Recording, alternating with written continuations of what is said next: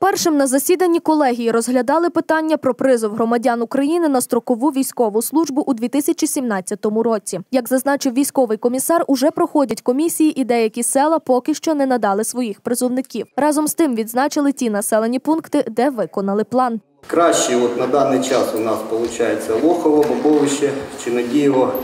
Ось навіть Чуманів дав нам призовника на цей раз. Е, На даний час е, не дали поки із тих, хто пройшов. Нічорки, Бабичі, Бистриця, Визниця, Завидово.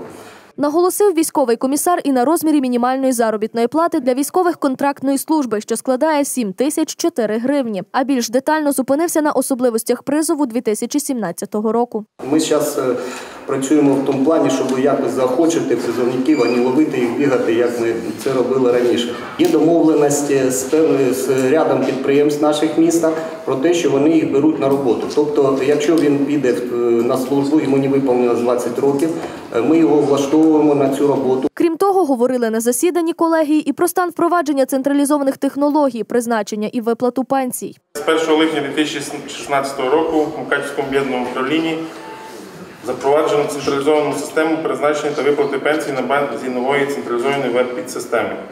Дана система несе переваги як для людини, так і для держави.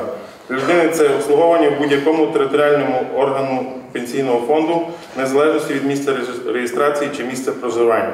Проаналізував виконання програми зайнятості за 2016 рік директор Мукачівського районного центру зайнятості. Він зазначив, що у 2016 році із осіб, які мали статус безробітних, по району 63% складали жінки, 37% з яких молодь віком до 35 років. Протягом 2016 року працевлаштовано 1363 особи з числа осіб, які мали статус безробітного.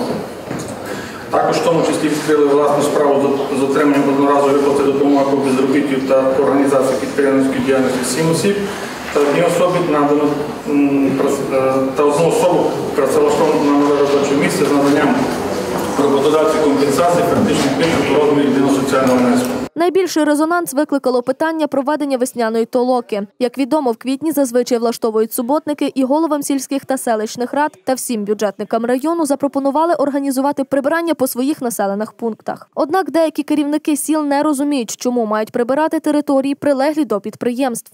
Я категорично відмовляюся виводити людей на толоку на ті земельні, земельні ділянки, де власниками яких є е, фірми, які отримують шалені прибутки, а я мав йти з учителями, з лікарями прибирати їх прилеглу територію. Орган місцевого самоврядування, е, я думаю, більше е, компетентні в тому, де які організації і фірми працюють навколо його населених пунктів.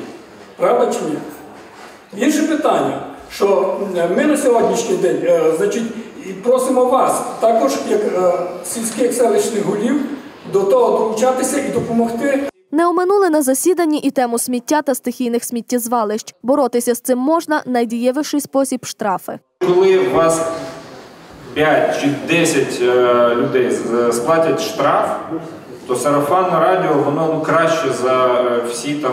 е, На засіданні оприлюднили, що позаштатним радником голови Мукачівської РДА з питань міжнаціональних відносин та захисту прав нацменшин призначено Наталію Козир.